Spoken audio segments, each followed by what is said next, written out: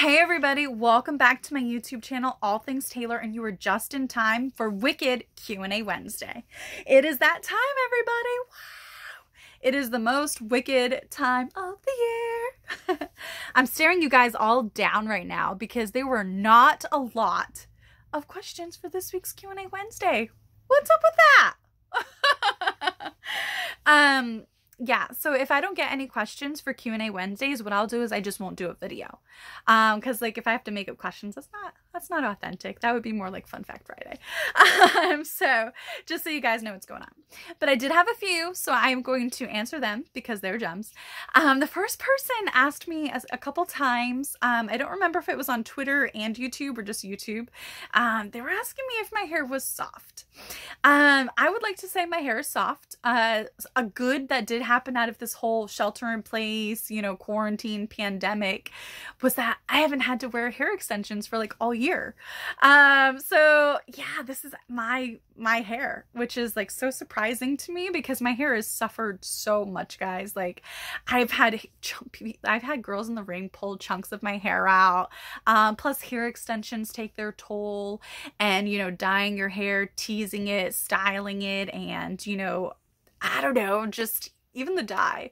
But you know, so I dye my own hair. I do my own hair extensions for the most part, and I've I've actually started trimming my own hair.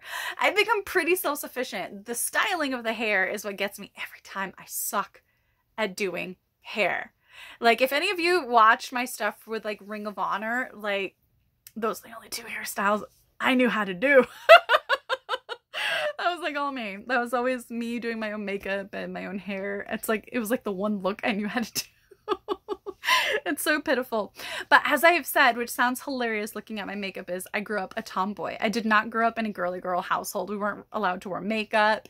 You know, we, you know, it, it was just crazy. So to this day, I still do not know how to use a curling iron. No concept on how it works. I can use a curling wand. I can curl my hair with a hair straightener, but I do not know how to use a curling iron. No idea none like when i i don't know to me it's like a medieval torture device of some kind i'm like just um, so yes, I would like to say that my hair is soft. Um, for all of you that want to learn how to take more care, I guess, better care, or put more effort into it. Um, things like honey, apple cider vinegar, lemon, um, coconut oil obviously is a big one, or argan oil. I prefer coconut oil, um, and tea tree oil. And then I use a lot of Nioxin products to help regrow my hair after all the damage and hair loss and stuff due to, you know, your hair getting pulled out and wrestling you know so um if you guys want me to do a whole video just on that please comment below um all the stuff that i do is not female specific to my hair. So um, honestly, it, it's very much unisex. Um, and that's kind of a lot of the stuff that I like to put out there to fans is because, you know, I feel like a lot of times, you know, people just think it's only women that want to focus on their skin or their hair, but I've actually met a lot of men that actually have questions too, and nobody really caters to them. They just think it's a, a female thing. And it's like, no, men, there's men out there that want to take care of themselves too. So I like to be, you know, equal opportunity with the advice and tips and tricks and products. Um, you know? So, yes, I would say my hair is soft. um, okay. Another person asked me if I would consider or was interested at any point in time to do kind of like fan films on my YouTube channel based off of either, you know, TV shows, movies, and or like comic book stuff that I like. Absolutely. I actually feel like I'm sort of in my own way doing that now. So thank you for your question. I think it's really cool um, I would totally be into that. Um, as you guys can see, I, I love doing a lot of different types of vignettes and things like that. I think I'm good at it. It's something I enjoy. Um, but the vignettes, what people don't realize is like even a 30 second vignette that takes that takes hours worth of you know the editing the footage and the color grading and all of that stuff. Like there's so much that goes into it. Even making films, if only 30 seconds has you know several hours worth of editing, imagine like an hour and you know 50 minute movie that it just I've learned so much. Um, okay. The next question that I remember is somebody asking me based off of my last Q&A Wednesday video was if I have seen Army of Darkness. Yes, I have. I actually really like that movie, so thank you for asking. Uh, kudos and shout out to you, man. You know who you are. Um, I saw I saw your question in the comments on my YouTube channel, so yay! Okay. So another question was, will I wrestle again? And the answer is, I am not retired. Just because I'm not wrestling right now, people seem to think that I'm retired. And it's like, nah, I'm not retired. I, I don't like that word anymore because I notice so many people that have retired have come back. So it's like, well, did you, did you, did you really retire though? No, mm, honey, no. So I have not retired. I just, like I said in a previous video, I've I've made the personal choice to not wrestle in 2020. Um, I wrestled in January before this whole thing went down. Um, I was very lucky. My opponent was from the Philippines. She was absolutely amazing. She is going to be a rising star someday. Shout out to Nina uh, with PWR um, out in the Philippines. Uh, she is going to be an up and coming star. You heard it from me first. um yeah i i have not retired. I will come back to wrestling when i'm ready and or you know if the deal is right. Like I said, um, I'm focused on other projects right now that I've waited my whole entire life to do. And, you know, I lost faith in them after, you know, hearing for years, like people telling me that I wasn't good enough or I was too stupid, too dumb, or critiquing how I walk, how I look, how I shake hands, how I stand, if I'm slouching, da da da da da da da. You know, there's only so many negative things you can hear about yourself before you start to believe them, even if they aren't true. And so I lost sight of all the goals I ever dreamed of for myself. And now that I am more myself than ever and I'm totally free with my authenticity, I'm going after all the dreams that I ever had since I was a little girl. And I love that, you know. Um, and one of the opportunities I wouldn't be able to do had I had signed contracts when I was presented with some opportunities. So, um, you know, if the opponent's right, if the deal is right, absolutely, I'll come back, just not in 2020. I want to be safe. I want to keep my fans safe. I want to keep my family safe. And most importantly, I want to keep, you know, everyone safe, whether it's, you know, the the company that I'm working for, myself, you know, my family, my friends, my fans. It all matters to me. So that's my personal choice. That's no dig on anybody else. That's just my choice. Everyone's free to make their own choice, you know. So that's that. Um, another person asked me if there were any women that I would like to wrestle. That is such a loaded question because there's so many that I'm going to forget a lot of them. Um, but I want to wrestle Lady Shani in uh, AAA. Um, I would love to wrestle with Ivelisse. I think she's amazingly talented. I get along with her very well. Um, I would also love to wrestle Nattie Neidhart. Um, I would love to wrestle, and I would love to wrestle with as a tag team or Valet Abadon in AEW. I think I said her name right. Um, I was watching her for about six months before she got signed. Uh, actually, more like a year, a little, maybe a year, a little more, give or take. Um, and I thought she was really talented. So I was really excited to see her get all these major opportunities with AEW. Um, I just think her vibe and my vibe would be so amazing. Like, especially because it's really funny because recently she had a, a photo that she put on her social media and it was literally like a pose that I had done. Um, and I was like, oh my gosh, we're totally twinning right now without even trying. Like, we're just several years apart Uh, because that photo of mine was a couple years old. And I was just like, wow. And the fact that I did that photo and on a fractured angle is like extra impressive. Um, a lot of people don't know that that photo was taken when I had a fractured ankle and I'm wearing these giant heels, and it was for Russell WrestleCon, and I have a fractured ankle. So I have so many backstage stories, guys. Like you guys would be so surprised. Uh, um, I would love to be able to wrestle a bunch of women. So if you guys want more uh, of all these women that I would love to wrestle, comment below, and maybe I will do a whole video just dedicated on that. Um, another person asked me, what are some of my big pet peeves right now? Um, there's two that immediately come to mind. One is people can, uh, you can tell I'm already like flustered because I'm like, no, ah, I just want to bash brains in. I'm just kidding. Uh, but it makes me that irritated. uh, people, um, people complaining that wrestling Twitter and Twitter in general are toxic. This is known.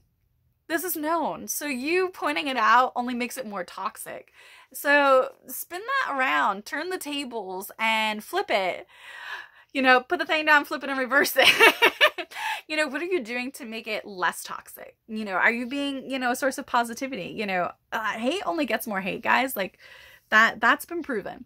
You know, uh, some people just are out there to complain and to hate and and giving them hate back is only going to fuel them more. So just spread love not hate. Promote what you love not what you hate you know? Um we all know there's certain toxicities but social media also has the ability to do amazing things like amazing crazy awesome things in seconds because that's how it works. That's how social media works. It connects billions of people all over the world in seconds you know? Um and so, with that, with great power comes great responsibility, guys. uh, but for real, it really does. You know, um, instead of being a mindless, heartless drone on the internet without any sort of consequences, be a good person. Use it for good. Use your powers for good. You know, uh, you know, I mean, I can't get any more Spider-Man than that, you know. Um, you don't need to point that out. So that's one pet peeve of mine. Another pet peeve of mine Oh, okay. I might just do a whole video on this just to give her a shout out because I feel like she could she could really use some love. Everybody hating on Lana is another pet peeve of mine that keeps coming up daily in my timeline.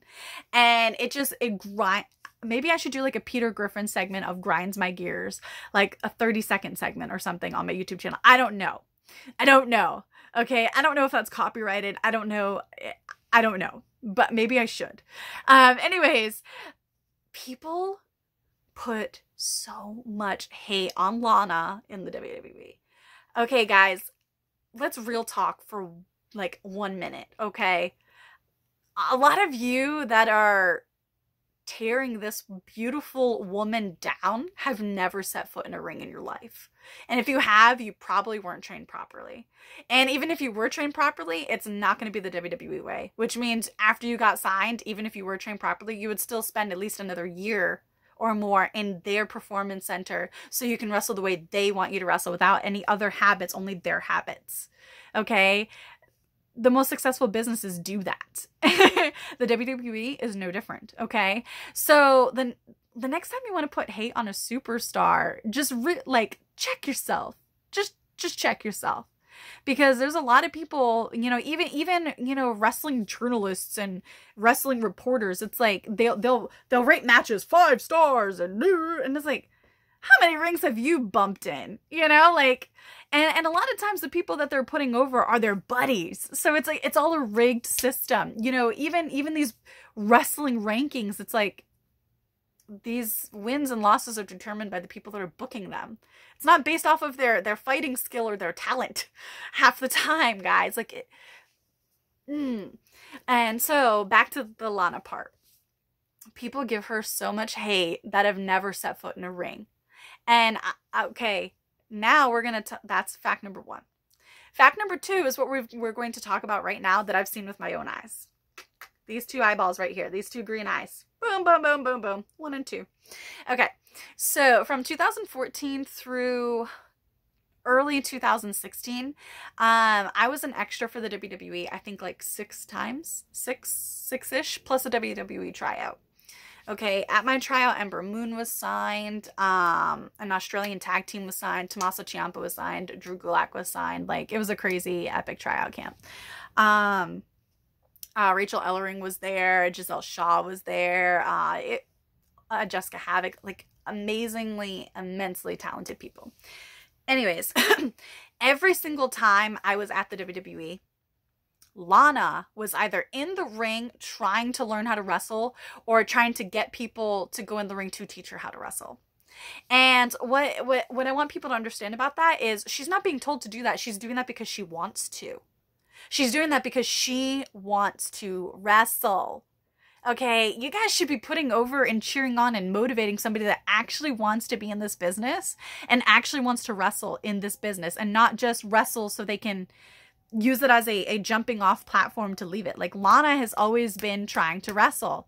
If you don't think she's that great right now, let's put it this way. She hasn't had the benefit of being at NXT for three years to learn how to wrestle. All all of the learning that she's had up until recently has legit been on the road, which is so different. You get to train if and when it's available. You know, if there's a major main event segment that has a lot of moving parts, that ring is going to be taken up for several hours. And there's only so many hours before a show, you know, and and and every all the other moving parts that are going going on. So she hasn't had the same type of experience as a Sasha, a Bailey, a Charlotte, uh, a Carmella, a Becky Lynch. They all got to go to NXT. And some of them actually had independent wrestling experience before going to NXT. Lana hasn't had any of that.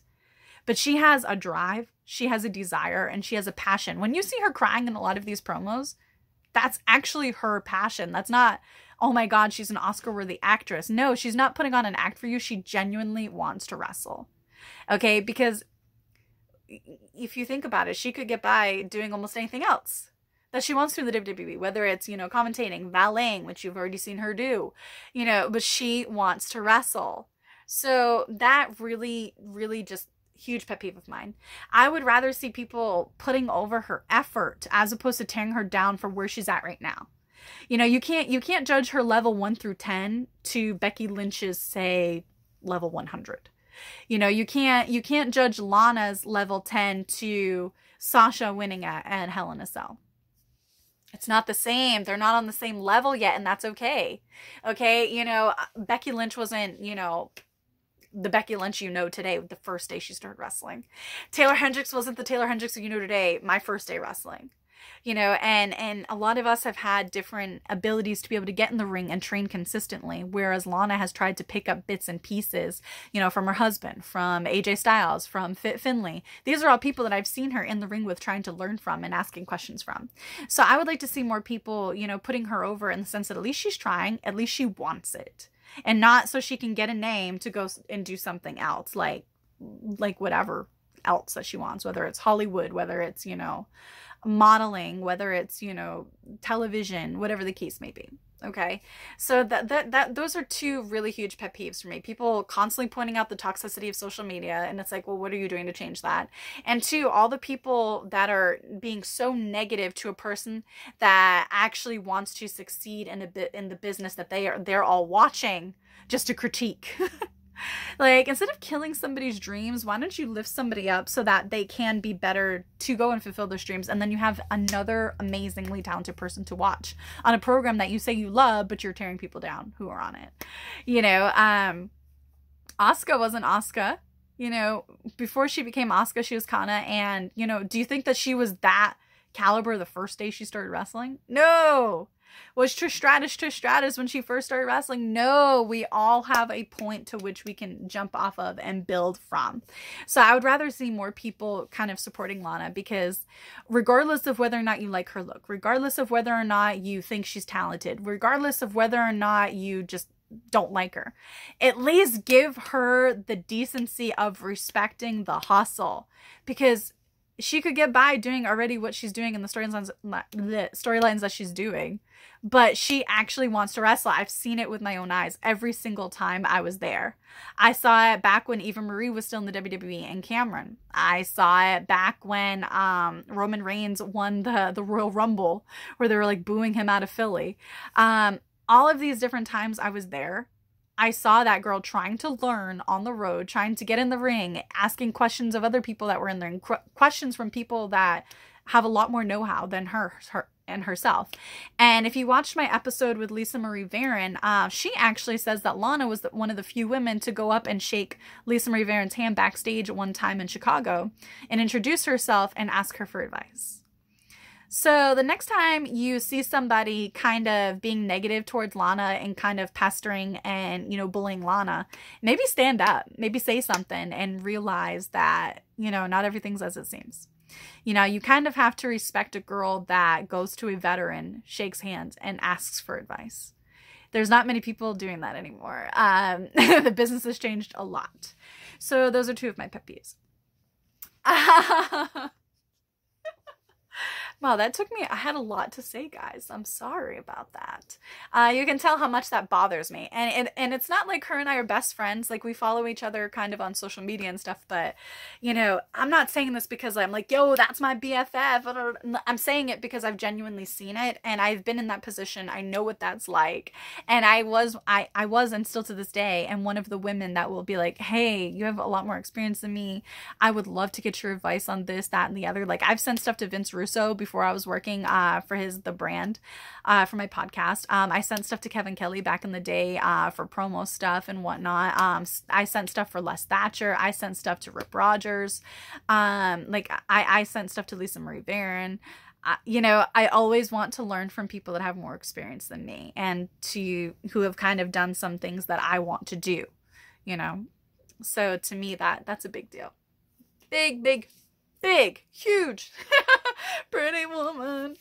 Okay um give you guys a little update. I'm getting ready to upload some vignettes. I'm super stoked. Um i finally finished all the edits for my two children's books. I am going to be having those come out. And uh, i'm shooting episode two of taeler's tiny kitchen tomorrow. And hopefully i'll be able to get it up in time for halloween. Um if you guys want a tutorial video for halloween just me giving you guys some ideas since i think a lot of places are canceling halloween which it's kind of like you know I don't understand that because I mean, if, if adults are allowed to get takeout from restaurants, I feel like people can hand out candy. Uh, but what do I know, right? I guess. Um, but yeah, if you guys want some ideas, I know I talked about that a lot with Shelly Martinez on Talks with Taeler Hendrix about three weeks ago. Um, but I would be happy to do another one.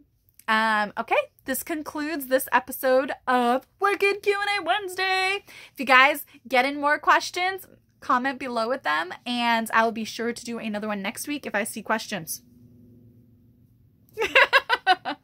um, also, I don't know if you guys could see this. I have a limited edition shirt that I'm wearing. I was saving it for live events that I was supposed to do this year until this whole pandemic happened. Um, so I will say that I have a few uh, limited sizing and stuff available if you want this really cool um, kind of 80s rock inspired shirt that I have. Um, send me an email to taelerhendrix at yahoo.com. Uh, first come, first serve, especially with sizes. Um, if I don't have your size, what a lot of people do is they'll actually um, put them inside like poster frames and like frame them. But that's totally up to you guys. Um, I have several still left since I am not doing any live events in 2020.